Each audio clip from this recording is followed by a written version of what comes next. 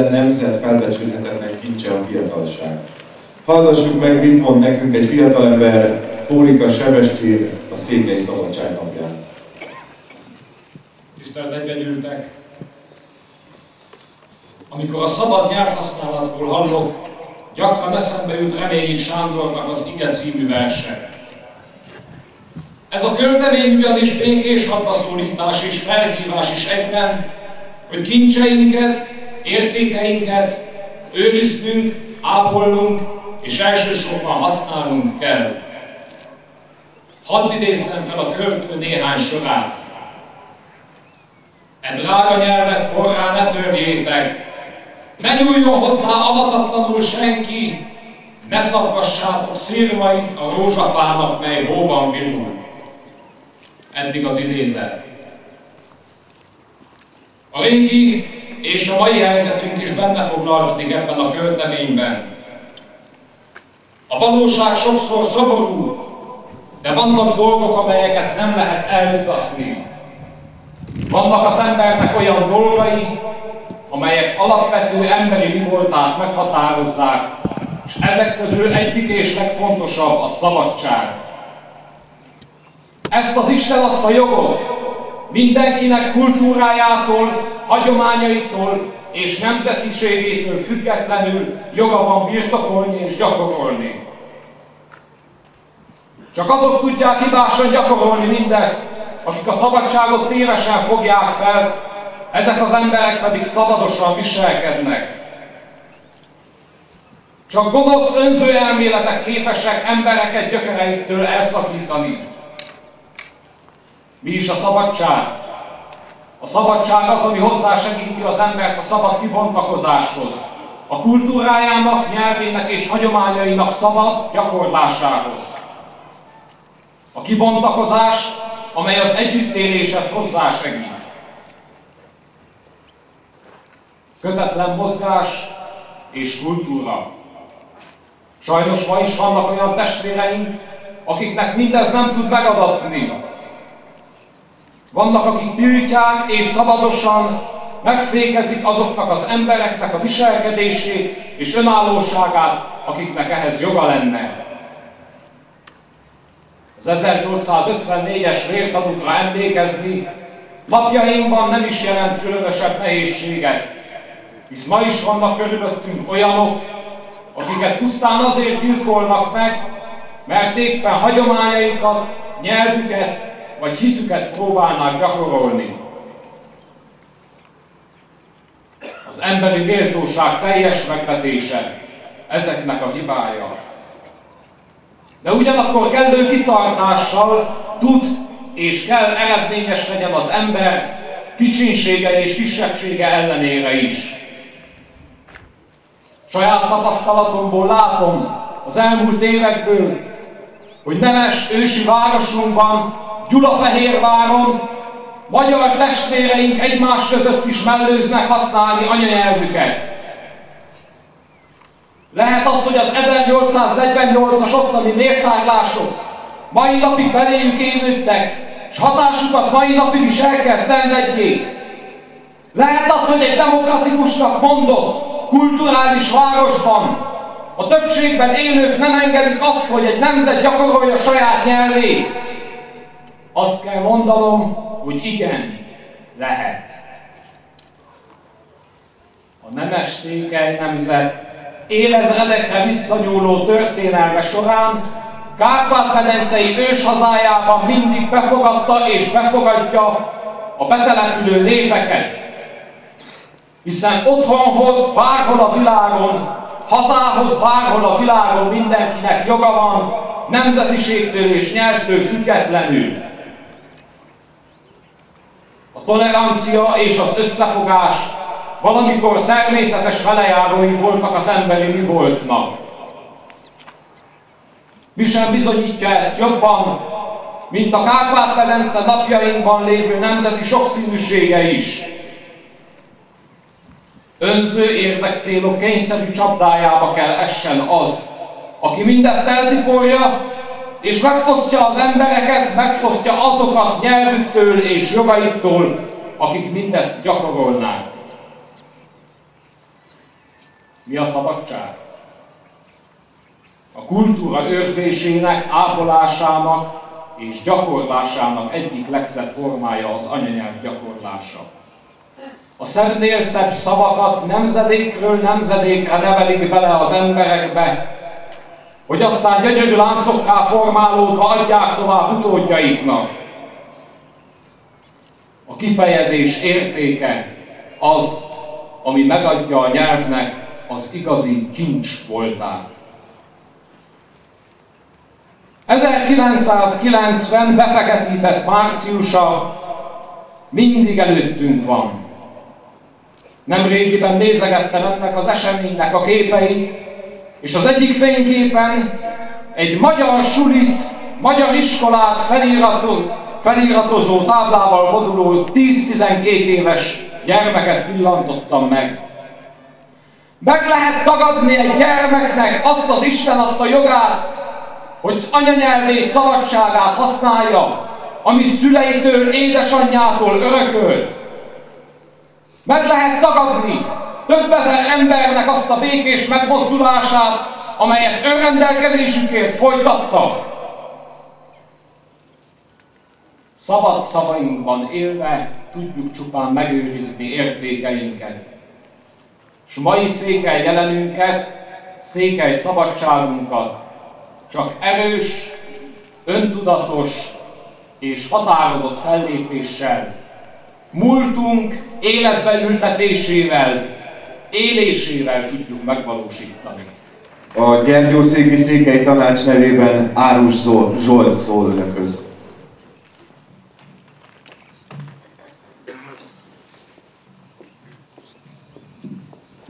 Egy kérdéssel szeretném kezdeni. Jól érzik magukat ebben az országban? Én sem. És ez jogos. Ugyanis nap mint nap történnek velünk olyan dolgok, amelyek ezt a rossz érzést keltik bennünk. Bárkit kérdeznénk meg, hosszan tudná sorolni, nap és tudná sorolni azt, hogy milyen kellemetlen élményei vannak csak azért, mert ő ebben az országban székely, vagy magyar. Itt Gyergyószem Miklóson lévén hadd mondjak a rövidség kedvéért mindössze három példát ennek alátámasztására. Egyszerű emberek, művelt emberek, tanáremberek, akiket rendőrségre és ügyészségre citálnak, kihallgatnak és zaklatnak azért, mert egyetlen bűnük az, hogy részt vesznek egy irodalmi esten. Lehetséges ez a 21. században? Ez főleg akkor szembeötlő, hogyha ugyanakkor azt is tudjuk, hogy a kétségtelenül törvénysértő, a fasiszta eszméket propagáló új jobboldal tagjai szabadon vonulhatnak fel Gyergyószent Miklós főterén, őket senki nem idézi sehova, őket senki nem háborítja. De nézzünk egy közelebbi példát. Városunknak lassan két hónapja nincs polgármestere. Mondva csinált okokkal lehet őt eltávolítani a hivatalból, és polgármester nélkül, vezető nélkül hagyni egy egész várost. Ennek a rossz és káros hatásait mindannyian érezzük. És nyilvánvaló, hogy Mezei János nem bűnös azokért a dolgokért, amiket vád, őt vádolják.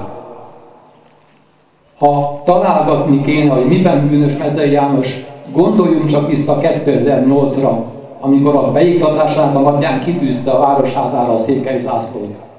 És az azóta is ott van. Az ő bűne nem az a 400 négyzetméter. Az ő bűne az, hogy székely és hűséges a népéhez. És itt van Marosvásárhely, 2015. március 10-én, ahol nem szabad tüntetést szervezni. A polgármester betiltja. Alapvető emberi jogainkban sért meg.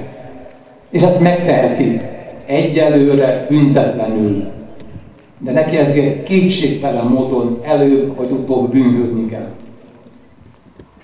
Mit bizonyítanak mindezek a dolgok? Röviden azt, hogy minket itt elnyomnak. Az, hogy Romániában zsarnokság van. Ilyen Gyulától tudjuk, hogy ahol zsarnokság van, ott zsarnokság van.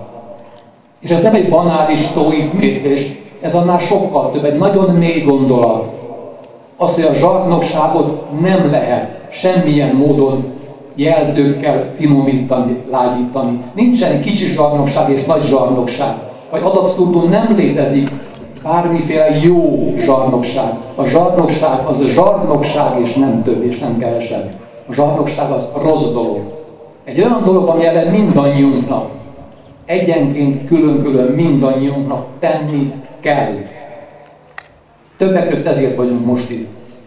Azért, hogy kifejezzük a tiltakozásunkat az ellen, hogy minket másodrendű állampolgárként kezelnek, az ellen, hogy életünkre, létünkre törnek ebben az országban. Az ellen, hogy olyan közigazgatási átszervezést terveznek, ami Székelyföld végét jelenteni. Az ellen, hogy jogainkat merik nap mint nap megtagadni tőlünk.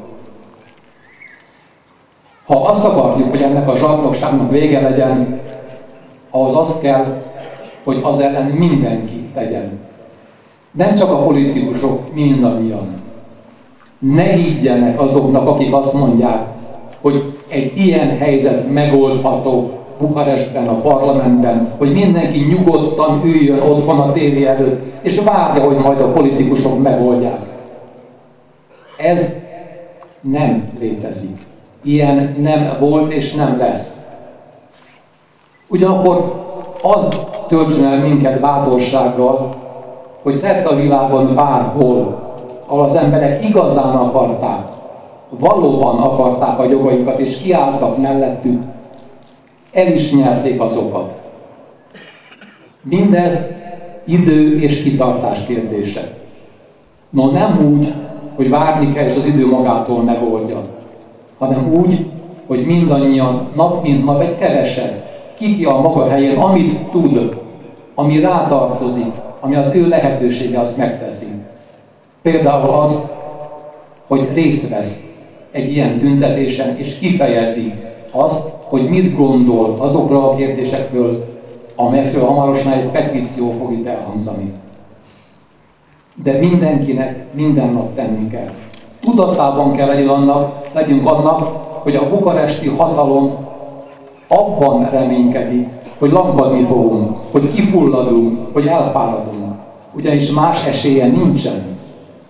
Az ország törvényei és az ország által vállalt kötelezettségek betartása azt fogja jelenteni, előbb vagy utóbb, hogy Székelyföld autonóm lesz. Ehhez a harchoz kívánok én önöknek sok-sok erőt és kitartást, és adja a fennvaló, hogy gyermekeink, de ha lehet, akkor bár később, de előbb-utóbb mindannyian élvezzük Székelyföld autonómiának az előnyeit, azt, ami nekünk jár. Köszönöm szépen!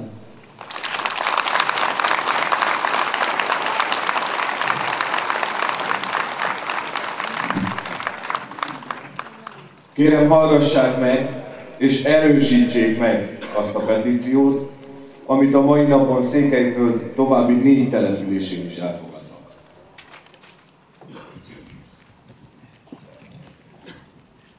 Petíció a Székely Szabadság napján, Románia kormányának és parlamentjének, tájékoztatásképpen Klaus Johannis államfőnek. Ma, 2015. március 10-én több székelyföldi településen összegyűlt székelyek és a velük szolidaritást vállalók a jog és a demokrácia útját járva egyhangulag és ismételten kinyilvánítjuk akaratunkat, igényeljük Székelyföld területi autonómiáját. Ezt teszik ma szerte a nagyvilágban gyülekezési jogukat szabadon gyakorló állampolgárok is, akik velünk együtt megértették a Székely Szabadság napjának üzenetét. Ez a nap nem csak a székely vértanúkra való közös emlékezés napja, de a jogkövetelésé is Székelyföld jövőjéért, alapvető emberi jogaink gyakorlásáért. A kormány által, által tervezett közigazgatási átalakítás folyamata továbbra is rendkívüli aggodalmakra ad okot. Székelyföldnek egy nagyobb közigazgatási egységbe tagolása ellentmond a közösség akaratának. Hogy a székelyföldi önkormányzatok mindeddig, mint egy harmada által elfogadott autonómia párti érvényteleníteni fog, autonómia párti határozatokat a kormány megbizottak az igazságszolgáltatás segítségével érvényteleníteni kívánják, az semmit, semmit sem változtat azon a tényen, hogy egyre több közösség képviselői teszik le voksukat Székelyföld önrendelkezése mellett. Ha a kormány nem veszi figyelembe ezt a tényt, nem csupán állampolgárainak akaratát hagyja figyelmen kívül, de egy sor nemzetközi kötelezettségvállalását is megszegi.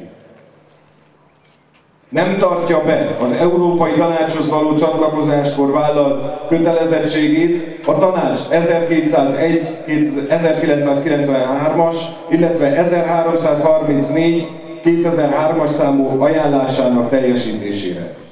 Nem tartja tiszteletben a kisebbségi keretegyezményben és a kisebbségi és regionális nyelvek európai kartájában foglalt kötelezettségeit. Nem tartja tiszteletben a helyi autonómiák európai kartáját. Nem tartja tiszteletben a Magyarországgal a megértésről, az együttműködésről és a jó szomszédságról szóló megkötött állami szerződést megsérti az Egyesült Nemzetek polgári és politikai jogokra vonatkozó nemzetközi egység okmányát, amely szerint az önrendelkezés minden népnek joga. Ezen, pedig, ezen felül pedig figyelmen kívül hagyja az Európai Unió javaslatait, amikor regionális reformot, az ország közigazgatási átalakítását tervezi. És figyelmen kívül hagyja az Európai Tanács több ajánlását.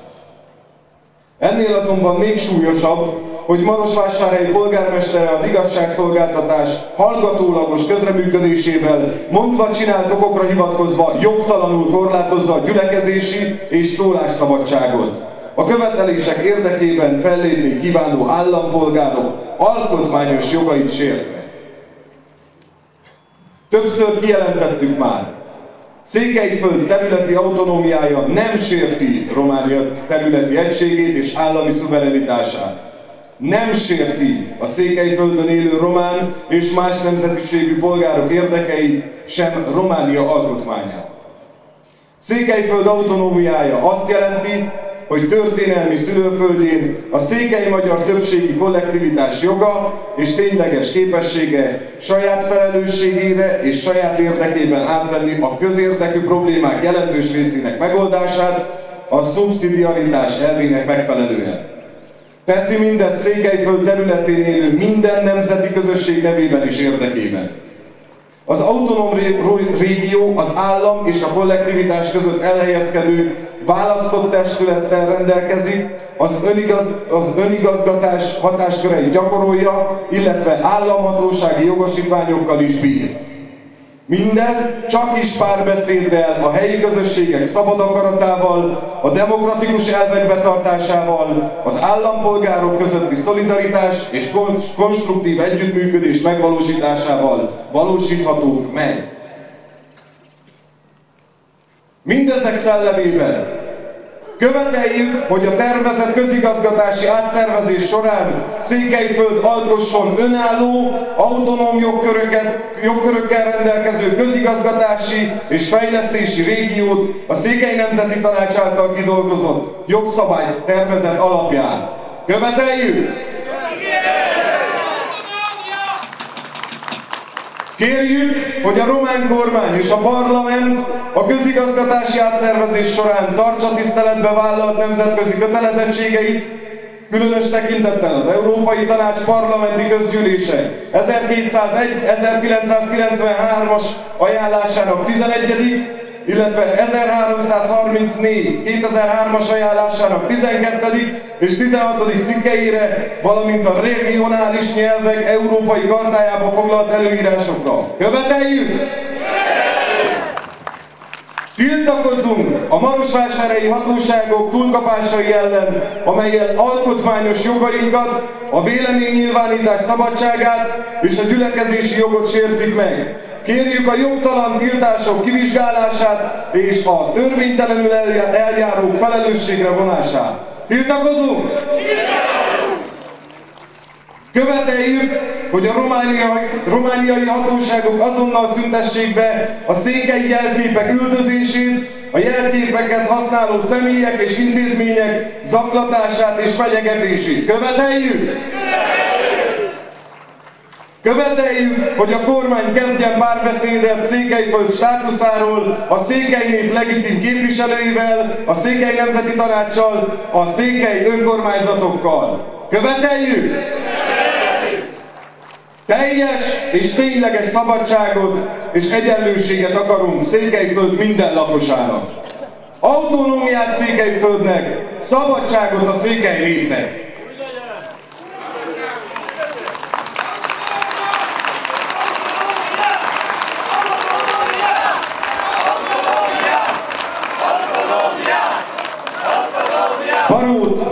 Csíkszereda, Firton Martonos, Gyergyó Szent Miklós, Sepsi Szent György, 2015. március 10.